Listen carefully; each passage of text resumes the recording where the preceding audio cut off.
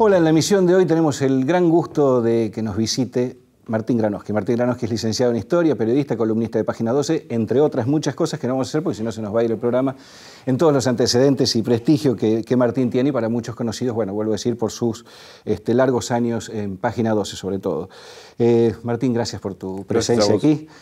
Vamos a arrancar en dos tramos. El primero tiene que ver con algo que hasta no hace mucho se venía escribiendo intelectuales, algunos autores de libros, sobre el gran fenómeno del macrismo y de Cambiemos, ¿no? esta gran irrupción que incluso avisoraba triunfos hasta el año 2027 y acá no se discutió otra cosa de quién iba a ser el candidato sucesor. Bueno, de golpe algo pasó.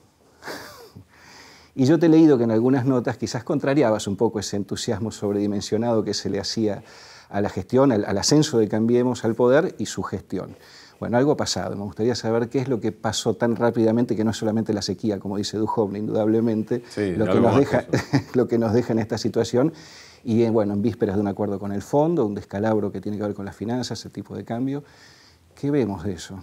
Así te sorprende. A, mí me parecía, en parte me sorprende y en parte no, pero en general sí me sorprenden las cosas, pero por la forma en que, que se dan, claro. En que suceden, sí. Me parece que si uno no se sorprende está, está embromado, pero además de todo el oficio es el oficio periodista, es, el, nuestro es el oficio sorprenderse. Exacto.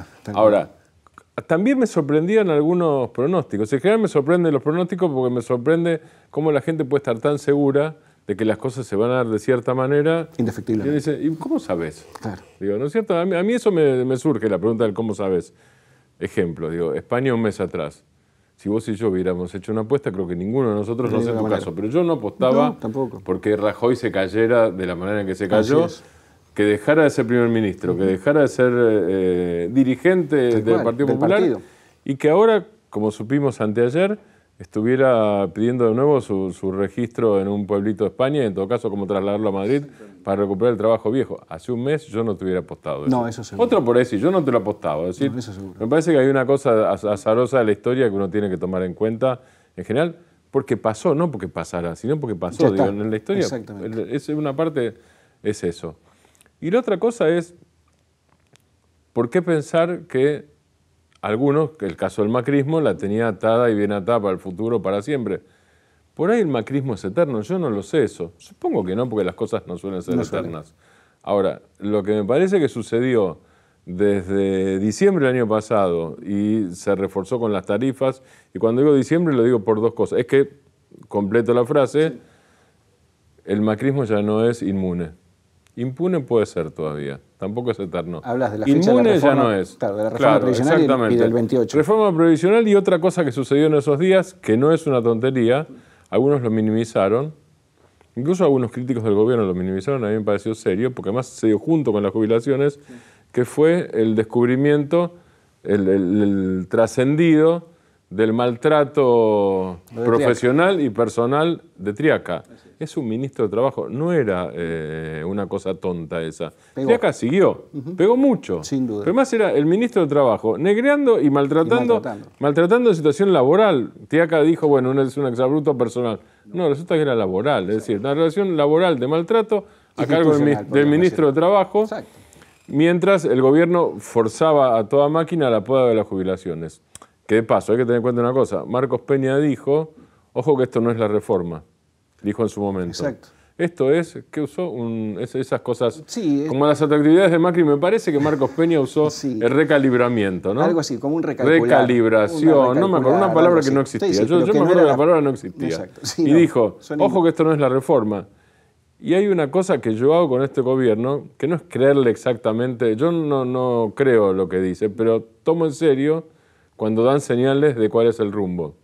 Porque en eso no mienten, mienten en, la, en, lo que dicen que no van a hacer y hacen, pero o mienten, pero cuando hablan de rumbo no mienten.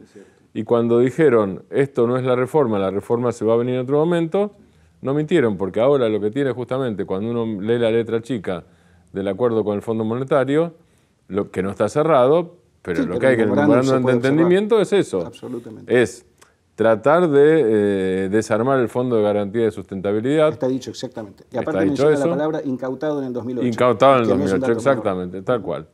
Quiere decir que ahí sí, digo, ese es el comienzo de la reforma. Hacia dónde va no lo sabemos.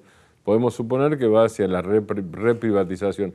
Pero por ahí no lo logran, yo no lo sé. Bueno, eso lo, lo, que... creo es que lo que pasó con el gobierno es que es inmune. Como se dice en política, le entran las balas. Claro, cuando le entran las balas también depende de que la oposición o las oposiciones, el antimacrismo o el no macrismo, se y todo junto, se activó, se activó, se activó en algunos temas, se activó temáticamente, se activó en el caso de las tarifas, me parece que es la segunda cosa importante en esos términos después de las jubilaciones, y ya no comunidad, no antimacrismo, no macrismo, se activó algo que fue el, eh, en diputados el voto en el tema del, aborto libre y seguro. Uno podría decir, Macri lo permitió, es cierto, Macri lo permitió, e incluso hay información según la cual Macri y Ernesto Sanz u otros dirigentes de Cambiemos dijeron mejor que el voto no sea negativo, en ese caso, si el voto no es positivo, como hubiera dicho hubiese dicho Gauss o Monzó. O Monzó, tal cual. Monzó no sé. ¿eh? No sé, ¿eh? Monzó no sé, yo tengo información de que... A pesar de, de que, hubiera, que tenía sí, exactamente, de que hubiera votado a favor y no en contra pero es eh, incomprobable, eso no, no necesito hacerlo.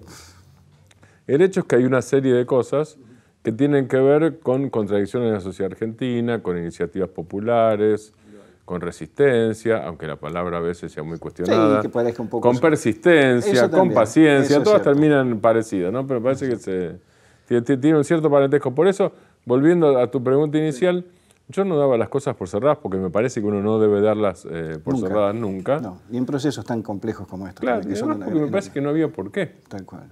esa cosa de decir, bueno... Pero hubo un apresuramiento a veces este, que, fue notable. Martín, te propongo hacer una breve pausa y volvemos enseguida.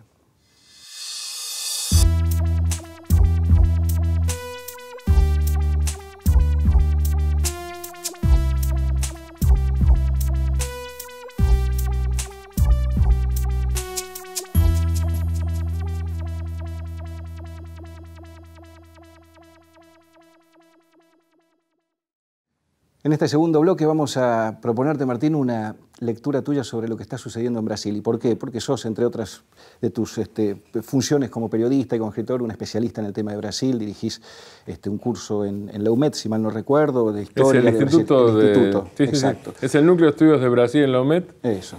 Y conformamos con Luis Dulci, que fue secretario general de presidencia de Lula, el Instituto Marco Aurelio García. Gracias.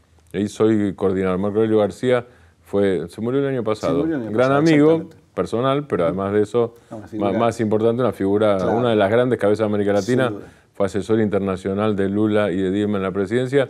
Y antes había sido secretario de Relaciones Internacionales del Partido de los Trabajadores. Figura clave, sin Gran duda. Bueno, apelo entonces a tu conocimiento para tratar de entender un poco qué es lo que está pasando en Brasil, un fallo reciente de la Corte que parecería un espacio chiquito a que finalmente Lula pueda salir de este atolladero del lavallato, juicios y demás que lo tienen detenido.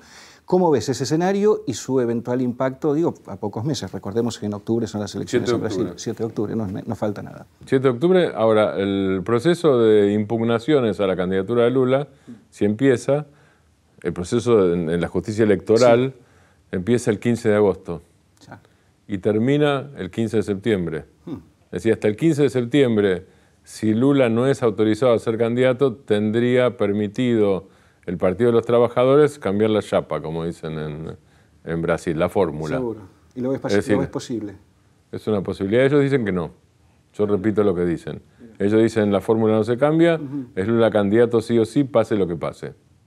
¿Y puede ser pase lo que pase, aún a pesar del fallo, digo, de estar detenido, de todo eso? ¿Qué decís? Que pase lo que pase. Es, claro, eh, digamos, que quede impugnado. es posible, sí, es posible que quede impugnado. es probable, sí, sí, sí, es probable que quede impugnado. Mejor dicho, la impugnación no empezó, es probable que, finalmente quede impugnado y que pueda no ser candidato. Seguro. O que no pueda ser candidato. Si eso es posible, eh, en términos procesales es muy difícil. Yo ni siquiera soy abogado, y menos abogado brasileño, y menos jurista, en términos, pero los consulto, los consulto en términos procesales es, complicado, pero no es imposible. Y en términos políticos, hasta ahora depende de la correlación de fuerzas. Y la correlación de fuerzas da una cosa que es eh, ambivalente. Por un lado, cuando se mide, Lula aparece primero en todas las encuestas. En todas, si las elecciones fuesen hoy, Lula ganaría en primera vuelta y si hubiera segunda vuelta, Lula ganaría en segunda Sin vuelta. Sin necesidad de balotaje. ¿Ganaría en primera vuelta? No, ganaría en primera o en segunda. No, puede haber, eso depende. No, no, habría balotaje. Hoy habría balotaje, pero En algunos escenarios ganaría en la primera vuelta.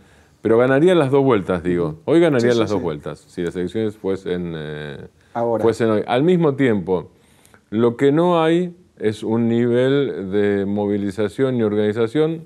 es importante, pero no llega a un nivel tal que ponga en riesgo la continuidad de Temer o del proyecto de Temer y la continuidad o la, estabilidad de un sucesor. Exacto. Es decir, que la figura de Lula es suficiente para ganar elecciones, pero no es todavía suficiente como para generar un armado organizativo que ponga en riesgo la correlación de fuerzas en Brasil. Es decir, no mueve el amperímetro, pero no, termina de moverlo como para que eso se convierta en un sacudón activo y no solo pasivo.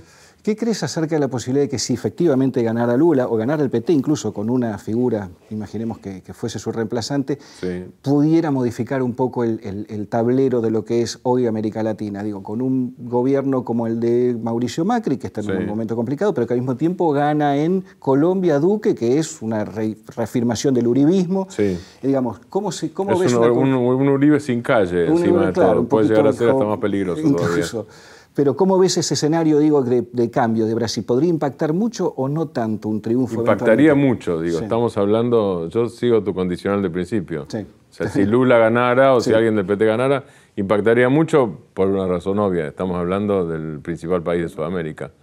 Y en ese caso habría que agregarle otro, si pasara, que no sabemos, que es el resultado de México con Andrés Manuel López Obrador y falta poquito para eso. Estamos a semanas de eso. Por eso digo, falta poco. Es verdad. Si las dos cosas se dieran, pero es un sí. Sí, tal cual. Digo, mirado desde hoy, y sin hacer de nuevo pronóstico, sino en condicional, parece más probable un triunfo de Andrés Manuel López Obrador en México, hoy digo, no lo sé. Sí, sí, sí porque además México tiene una historia de fraude, tiene una historia hasta de asesinato de candidatos pero parece más probable eso que, eh, que Lula presidente.